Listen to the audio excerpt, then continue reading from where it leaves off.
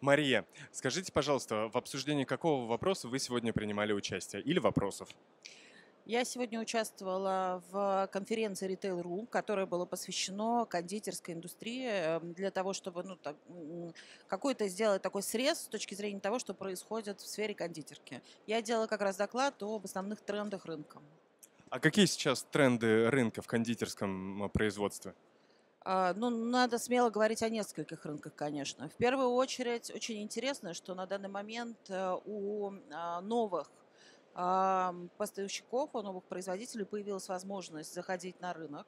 У таких поставщиков, которые строят сейчас новые фабрики, которые развиваются. И а, между Аленкой и Альпингольд появился новый, а, совершенно новый интересный сегмент, который они сейчас занимают, который интересен потребителям. Кондитерский рынок – это рынок новинок, об этом мы тоже говорили. А, и, конечно, потребители сейчас очень интересно дифференцируют свои вкусы.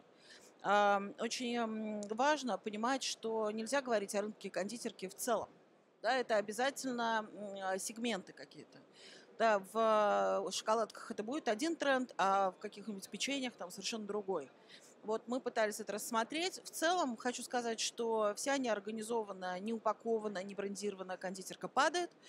А все брендированное растет, э, потому что развиваются крупные торговые сети, они развиваются вслед за этим. Вот мы пытались дать как э, производителям какой-то ориентир, куда им двигаться.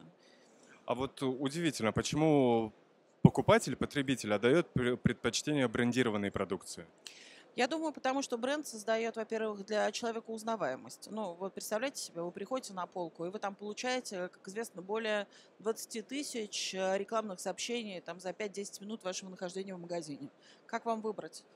Вы выбираете то, что вам привычно, это во-первых. Во-вторых, кондитерка очень часто покупается детям, и вы должны быть уверены в качестве того, что вы покупаете.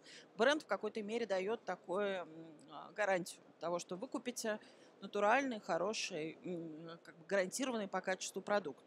Кроме того, конечно, бренды имеют а, большие бюджеты для того, чтобы в рамках а, тех торговых точек, где они работают, продвигаться, используя иногда очень разные креативные подходы, все самые современные приемы мерчендайзинга и другие. Мария, спасибо вам огромное.